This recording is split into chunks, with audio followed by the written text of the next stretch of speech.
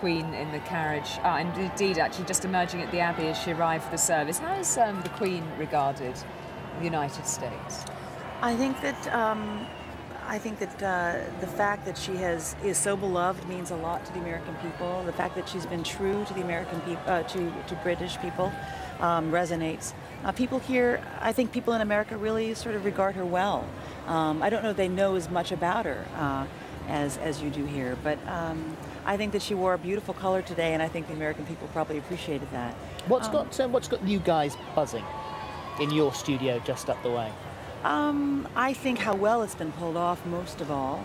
Um, how beautiful the ceremony was. Um, people are talking about uh, her dress, of course, that's the big thing, and how much it looked like maybe it was inspired by Grace Kelly's dress. By the way, you were talking about Twitter earlier, and I noticed that one of the, for a while, the top trending tweet uh, hash mark was proud to be British.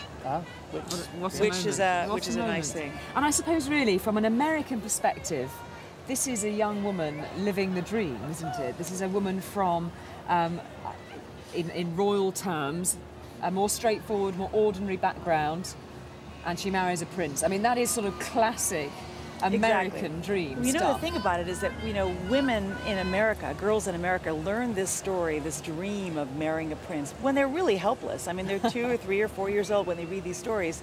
And so we're all sort of, I don't know if that's also true here in Britain, but the, we are all sort of vulnerable to this idea that that a girl can come from nowhere and, and really work on herself to become spectacular as Kate clearly has and can have the opportunity to to have a life and and uh, that that now you know Princess Catherine will have.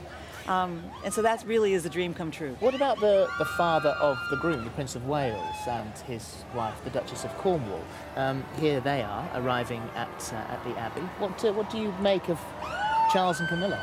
Well, I think that uh, people in America cared a lot, as you mentioned earlier, about Diana uh, and they admired her willingness to um, um, take on projects like AIDS, uh, and to, to, her work as a humanitarian was very, very powerful and meaningful, I think, to people in America.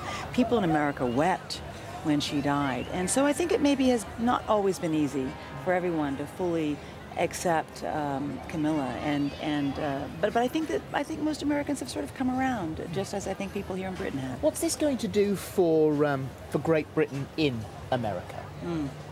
Well, there's a great love affair today for Britain. Uh, I think that um, there is also a great admiration in America today for Britain and what you've been able to pull off. And I think um, I mean, I'm not going to go so far as to say that uh, the American people wish they had a, a, monarchy, but I will say that um, I think American people can see the value of it. And it's worth pointing out, of course, President Obama due here in just a matter of weeks' time, when that focus will again be on the, the monarch standing alongside the President of America. It'll be another moment, I suppose the US networks will be covering that at every move, every detail. It'll be another moment, I suppose, when that uh, special relationship exactly comes right. under that. It's interesting, you know, for a wedding, to be kind of almost the scene setter, the, the chapter changer for a country that is uh, emerging into deeper a deeper relationship now between uh, your Prime Minister Cameron and, and, and President Obama, and so it's, it's a, the timing is very interesting. Um, also, also, um, you know, we I know that the Queen's. Um, what is it, the 60th Jubilee? Help me, because I'm sorry, I'm an idiot about that. I know you have other major, yeah. right, that's right, big events coming up. And uh, and and also, you know, who knows? There may be another wedding. We saw a lot of tiaras out there coming towards you, and in fact, one was worn by a girl, a beautiful girl, who held up a sign saying "Marry me, Harry."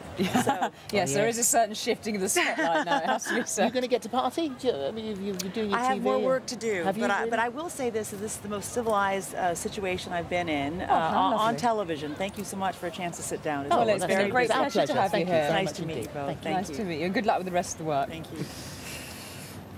Let's uh, let's go now to uh, Matt Smith, who is at St Andrews.